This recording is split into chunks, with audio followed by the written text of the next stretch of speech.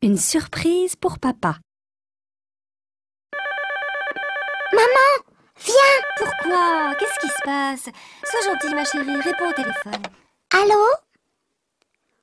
Oui? C'est papa. Dis à papa que je ne suis pas là. Maman n'est pas là. Demande-lui à quelle heure il va rentrer. Et ne lui dis pas que Xavier est arrivé. C'est une surprise. Papa, reviens vite. Il y a une surprise pour toi. Chut Ne lui dis rien. C'est pour son anniversaire.